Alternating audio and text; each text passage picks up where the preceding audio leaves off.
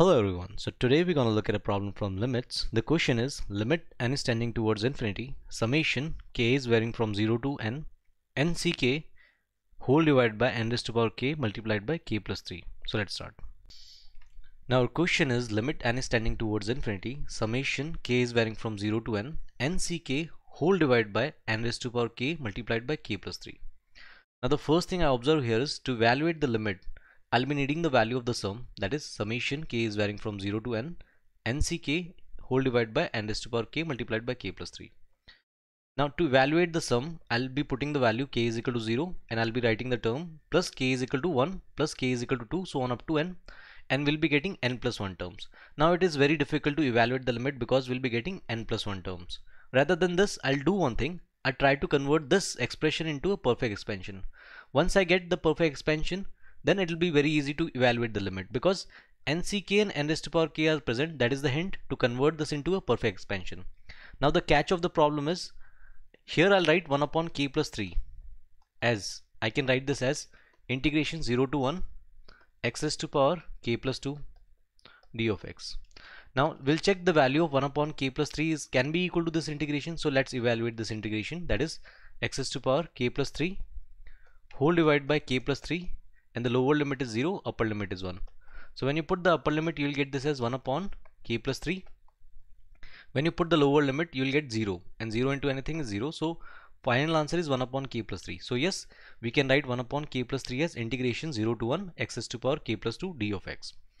Now why I'm writing this? Because to convert this expression into a perfect convert this expression into a perfect expansion once I create this into a perfect expansion, it will be very easy to evaluate the limit. So let's write this as limit as it is. N is tending towards infinity. Summation k is varying from 0 to n. N c k upon n raised to power k. And I'm replacing 1 upon k plus 3 as integration 0 to 1 x to power k plus 2 d of x. Now as you can see the integration is dependent on x so I can take integration outside of the limit as well as sum because the limit is dependent on n as well as the summation is dependent on k. So I'll be taking integration outside integration from 0 to 1 limit as it is n is tending towards infinity and we'll be having summation k is equal to 0 to n.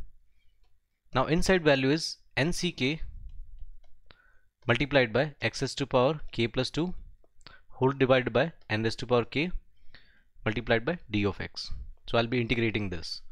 Now I'll write this as integration 0 to 1 now I have to convert this into a perfect expansion. So limit n is tending towards infinity.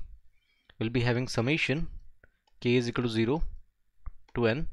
Now we'll be writing this as nck as it is. Now here I'll do one thing. I'll separate out x to power k and x square here. So I'll be writing this as x to power k upon n and whole raised to power k because x is to power k upon n raised to power k is x by n whole raised to power k and multiplied by x square separately and d of x. Now x is not dependent on k. Similarly I can take x square outside. Similarly I can take x square outside of the limit. It won't change anything. So I'll be writing this as integration from 0 to 1 x square limit n is tending towards infinity. Summation k is varying from 0 to n will be having nck multiplied by x by n whole raised to power k. Now as you can see I have converted this into a perfect expansion and d of x. As you can see this is a perfect expansion nck x upon n whole raised to power k. Now this is a perfect expansion of I'll write here integration from 0 to 1 x square limit will remain as it is n is tending towards infinity. We'll be having this as 1 plus x by n whole raised to power n. So if you expand this you will get the same series. So I have compressed this as I told you that's why I'm writing 1 upon k plus 3 that is the catch of the question and d of x. Now I'll solve this in the next slide. The previous slide I have converted this limit into the integration that is integration from 0 to 1 x square limit n is tending towards infinity and as you can see this is a perfect expansion of the summation 1 plus x upon n whole raised to power n. Now first I'll do one thing here. I'll evaluate the limit separately. Once I evaluate the limit separately I'll put the value here. Once I plug the value here I'll calculate the value of integration. So let's calculate this limit. As n is tending towards infinity I can see here see x is varying from 0 to 1 so it's a fraction. If limit n is tending towards infinity, the indeterminate form will be 1 raised to power infinity, clearly visible. Now let's calculate the limit. So limit will be equal to e raised to power limit n is tending towards infinity.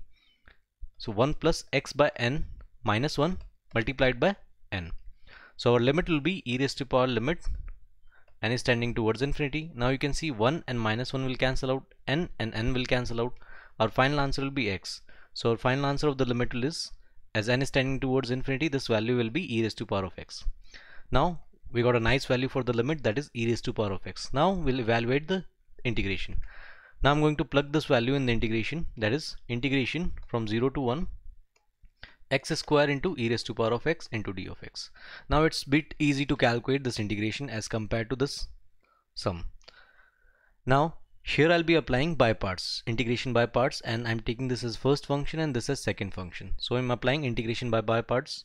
So first function into integration of second. Integration of e raised to power of x is e raised to power of x, the lower limit is 0, upper limit is 1. Minus integration of differentiation of first function that is 2x into integration of second that is e raised to power of x into d of x. And here the lower limit is 0 upper limit is 1 now let's put the value here. That is if you put 1 here you will get e raised to power 1 minus when you put 0 0 into anything is 0 so minus 0 now let's evaluate this limit. So 2 will come outside again as you can see here I have to apply by parts so I'm taking x as first function and e raised to power of x as second function so here I'm applying by parts so we'll get this as first function into integration of second that is e raised to power of x as it is the lower limit is 0 upper limit is 1 minus integration of differentiation of first function. So differentiation of x is 1 and integration of e raised to power of x is e raised to power of x d of x limit from 0 to 1. Now let's evaluate this value. So e will be having e here minus twice. Now let's put the value here. When you put 1 you will get e minus 0. When you put the integration of e raised to power of x is e raised to power of x when you put the value you will get again you will get this as negative times of e minus 1. So final answer will be this value is e and minus e will cancel out minus of minus 1 is 1 so final answer is e minus 2 and that's a good place to stop.